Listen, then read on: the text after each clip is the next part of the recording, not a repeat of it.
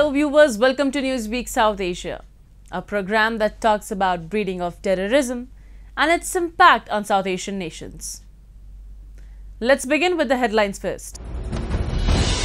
Targeted killings of Kashmiri Hindus in Jammu and Kashmir are becoming alarming. Explosion rocks Pakistan's Karachi, at least one dead and several injured. And Taliban orders women TV anchors to cover their faces on air. Let's start the show with India's Jammu and Kashmir, where the situation is tense. The region has been witnessing a spate of terrorist attacks against Hindu minority over the past few months. In the latest, two Lashkar-e-Taiba terrorists barged into a government office in Kashmir's Budgam district and shot point blank at Rahul Bhatt, a Kashmiri Pandit who was a government employee over there. The death of Rahul Bhatt has triggered protests and raised questions about the security of the minority community in the valley. We have a detailed report.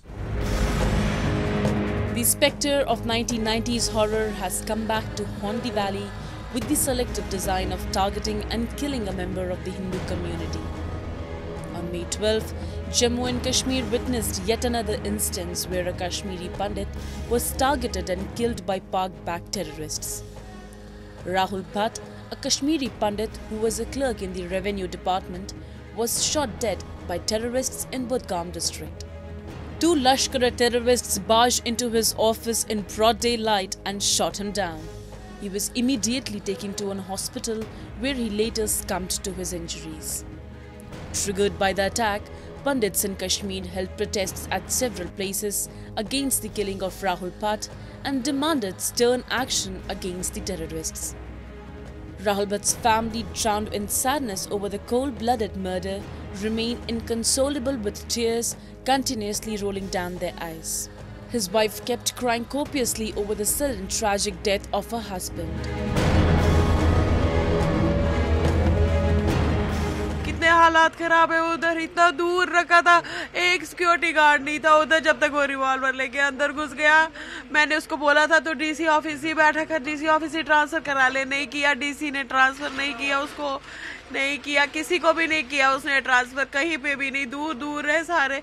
ये दो घंटे लगते थे उसको वहाँ जाने में वहाँ से आने में। कुछ नहीं बोला था कुछ भी नहीं बोला था। उसके सारे बहुत अच्छे थे सारे उसके साथ अच्छे थे। बहुत मुझे कोई नहीं नुकसान पहुँचा सकता। मुझे सारे बहुत वहाँ पे इज़्ज़त करते हैं सारे इज़्ज़त करते हैं मगर उन्होंने भी नहीं बचाया। किसी से तो पूछा होगा उन्होंने कि ये क्या है क्या नहीं है। उनको कैसे पता चला यहाँ पे ये है?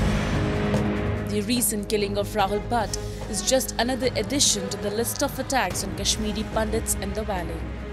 Last month, on April 13th, a terrorist shot down and killed Satish Kumar Singh, a Rajput, outside his home in Kakaran village bordering Shopian and Kulgam district. On April 4th, terrorists shot and injured a Kashmiri Pandit Balakrishnan Bhatt in South Kashmir's Kulgam. In last six months, more than seven members of the minority community have been selectively killed, including two Kashmiri Pandits. Attacks on the Hindu community in Jammu and Kashmir have witnessed a spike in the last few months. Recently, banned terror group Jammu and Kashmir Liberation Front exploded a bus full of pilgrims headed from Katra to Jammu near Kharmal, in which four people lost their lives and 22 were injured. According to a recent data produced by the Ministry of Home Affairs, 14 members of the Hindu community have been killed by terrorists in the valley between 2019 and 2022. Of late, terrorist handlers sitting in Pakistan have changed their strategy as far as attacks and targeted killings are concerned. They are now concentrating mainly on soft targets. ये किस्सा तो बत्तीस साल पहले शुरू हो गया था, जब से 1989 में टिकला टब्लू की शहादत हुई थी। तब से लेकर आज तक पहले इन कश्मीरी पंडित तीन हज़ार कश्मीरी पंडितों को वहाँ पर मौत के घाट उन्होंने उतारा। उसके बाद छः लाख लोगों का पलायन इन्होंने कर दिया। आप भाग जाओ, नहीं तो हम मार देंगे, आप या तो कन्वर्ट हो जाओ। या तो इस्लाम आप कबूल करो मस्जिदों में लाउड स्पीकरों में वहाँ पर उन्होंने चलाया कि भाग जाओ मैं सरकार से रिक्वेस्ट करता हूँ कश्मीरी पंडितों को एक जगह बसाइए उनकी नौकरी भी उसी के आसपास दे दीजिए और सिक्योरिटी दे दीजिए तब जाके वो वहाँ पर सेफ़ रहेंगे Kashmir was witnessing the return of peace once again, and people had understood that terrorism and separatism cannot flourish in Jammu and Kashmir. This is the biggest pain for Pakistan, which has been trying to internationalize the Kashmir issue for over seven decades. By creating a communal rift, it wants to give a few more days of life to the dying terrorism in Jammu and Kashmir. It also wants to reinstate fear in the minds of common Kashmiri people that to get killed, one not needs to be an influential person, being from a minority community is sufficient enough. Their tactics are kill one and scare a thousand. That is how they have succeeded in hounding out the entire population of Kashmiri Pandits from their roots. However, such barbaric terror acts will not succeed in undermining Jammu and Kashmir development journey as people in Kashmir will not let this conspiracy succeed.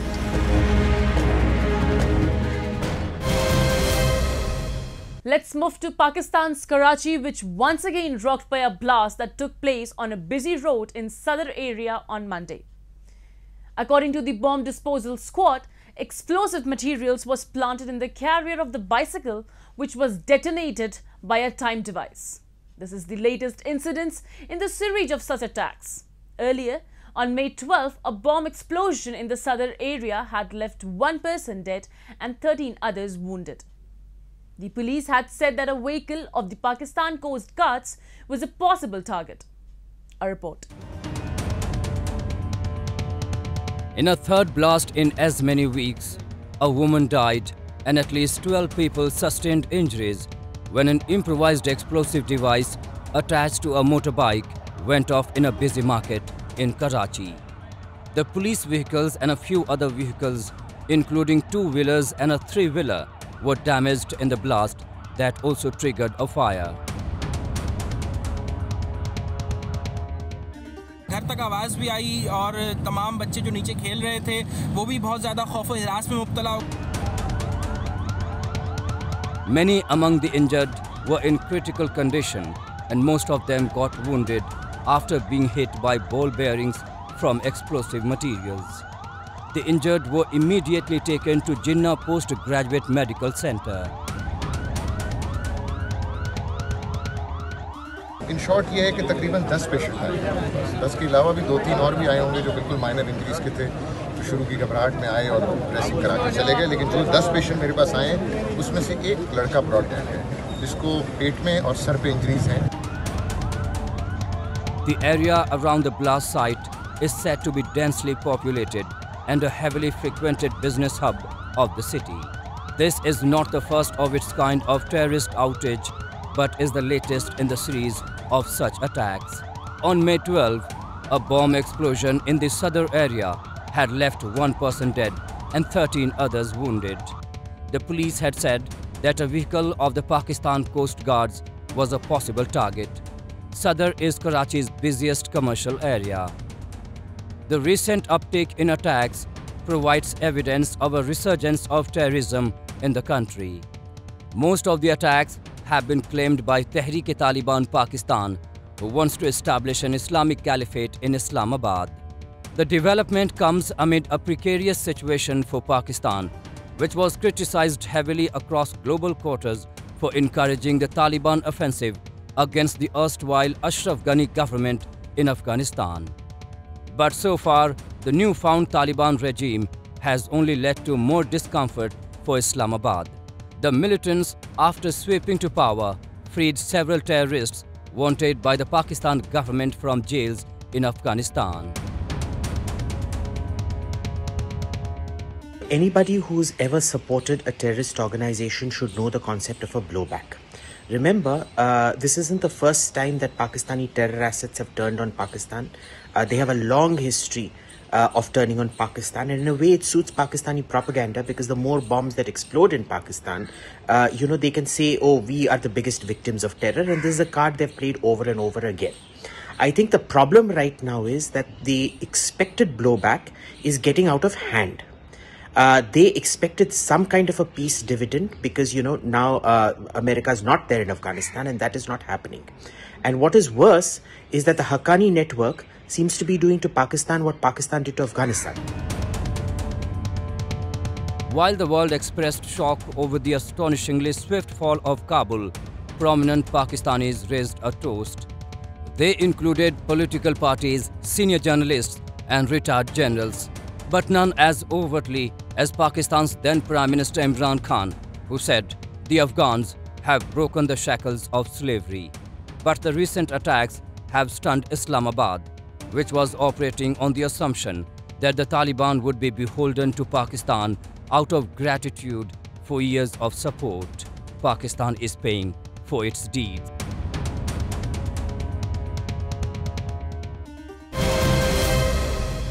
Atrocities and discrimination against minorities in Pakistan continue unabated.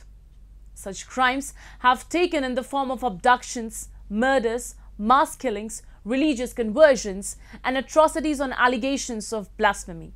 In the latest incident, two businessmen from minority Sikh community in Pakistan were shot dead. Ranjit Singh and Kavaljit Singh both were shop owners in Batatal Bazaar in Peshawar. People in Pakistan's Peshawar took to the streets to protest against the killing of two Sikh businessmen Kavaljit Singh and Ranjit Singh. This is the latest targeted killing of minority community members in the northwestern Khyber Pakhtunkhwa province. The two deceased were in the business of spices and had shops in the Batatal Bazaar in Sarband. On May 15th morning, two unidentified bike-borne assailants attacked and shot dead both businessmen in Batatal Bazaar and fled after the attack. This is not an exclusive case when the Sikh minority in Pakistan has been targeted. In September 2021, a well-known Sikh Hakim Sardar Satnam Singh was shot dead by unidentified gunmen inside his clinic in Peshawar. On 27 July 2020, it was reported that Gurudwara Shahid Bhai Singh, which is the site of martyrdom of Bhai Singh, had been forcibly taken over and was converted into a mosque and named Masjid Shahid Ganj. Targeted killings of uh, minority community and the various crimes against them have been very common in Pakistan. We have seen that during the previous Prime Minister Imran Khan, who wanted to make it into a Naya Pakistan, these had increased the hate crimes, the kind of crimes against minority, against girls and all, had increased tremendously. We have seen they have been forced upon. And this is a, in Peshawar itself, Pakhtunkhwa, this is the second uh, time the people in the Sikhs have been killed um, in eight months actually in September last also one person was killed. So the safety and security of the minority community is obviously um, uh, very important. And this is uh, the government uh, of Nawaz Sharif must do its best to protect uh, the minority community Not only the Sikh community but other community members in Pakistan are facing atrocities. The 2017 census data shows that Muslims have become 96.47 of the total population and other religious minorities have shrunk. Hindus, for example, are at their all-time low at 1.73 of the population. Pakistan has become a hotspot of forced conversion and thriving industry of hate preaching. According to their own Human Rights Commission report, around 1,000 young Hindus and Christians are forced to convert to Islam every year. Moreover, the country has also failed to bring an end to state-approved textbooks and curriculum which fuels an environment of religious fanaticism. As far as um, the growth in uh, numbers, I mean, they, the statistics speaks for itself we have seen against the Sikhs, against other minorities, uh, they, against uh, the women being kidnapped, they are forcibly uh, married. Uh, so we are seeing in Pakistan an increased um, incidence of such cases, uh, which is very worrying, in fact. Pakistan tries its best to portray itself as a savior of minorities and misses no opportunity to pat its back before the international community. However, the reality is far contrary to hefty claims made by Pakistan's government. Since 1990, minorities in Pakistan have been targeted over claims of blasphemy. Even Muslims who speak against these inhuman laws are targeted And this is primarily because government agencies want to settle their personal scores by providing support to Muslims who are in majority in the country. The country's legal institution and society at large have violated every basic norm of human rights. Hence, it is a mandate on the international community concerned with the protection of human rights to take necessary measures. This is high time that international agencies must intervene effectively before it's too late and minorities are completely wiped off from the country.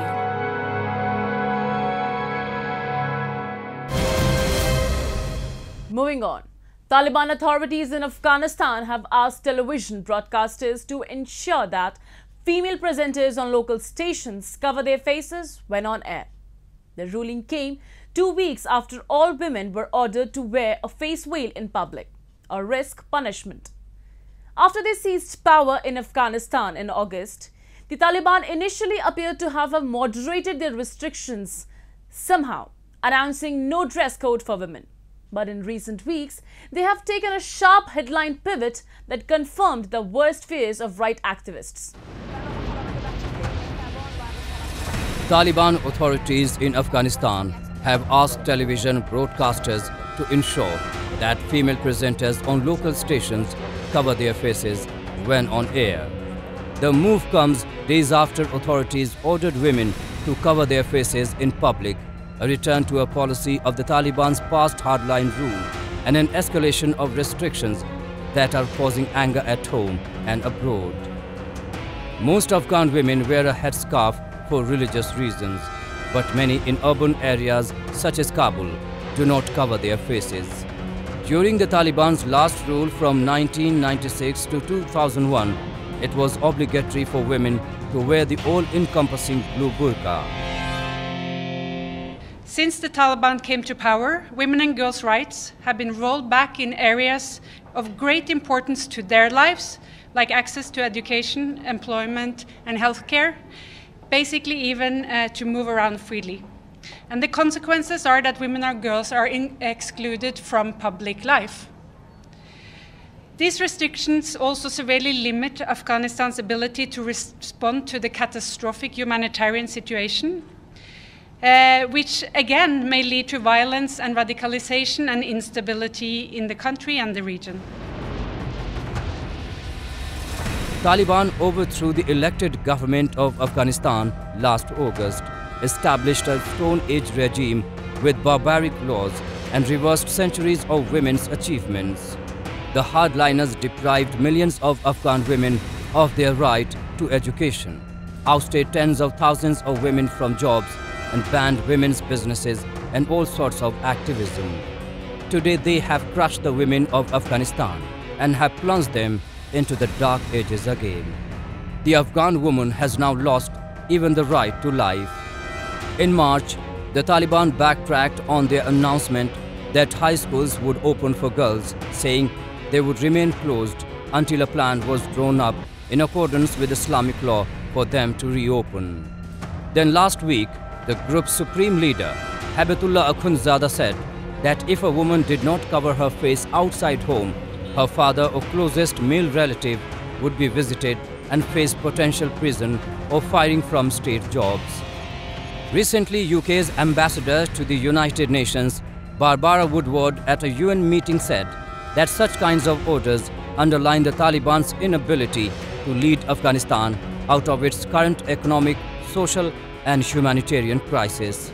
She further added that it's hard to see that international community and importantly the Afghan people will ever respect the Taliban as legitimate authorities if this is the future for Afghanistan.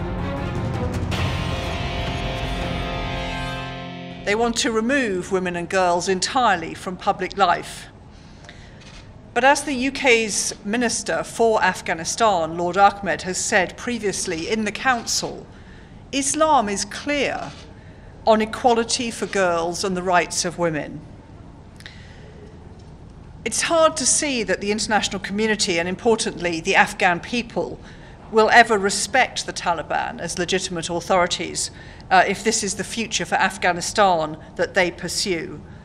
Because half its population are women and girls who will not and should not have to accept a life banished to the sidelines, nor will their brothers, fathers, or sons.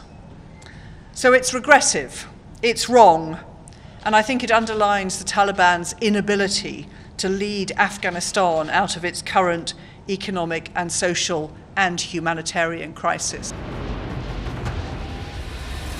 A century ago, Afghanistan's women were free. They enjoyed the right to education, the right to political participation, and the right to movement. Even till the 1970s, more than 60% of the Kabul University students were women, and they had equal participation in many state institutions. Under Taliban rule, the rights of women and girls have worsened, and Afghanistan is facing a desperate humanitarian and economic crisis.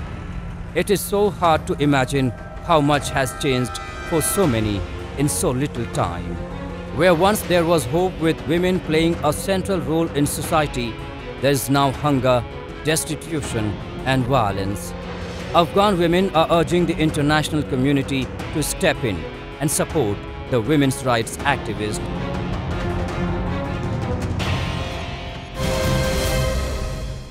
And with that, we come to the end of this edition of Newsweek South Asia.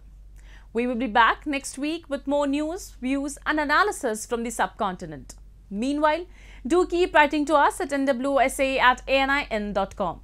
This is Shivangi Mishra signing off on the behalf of the entire production team of Newsweek South Asia.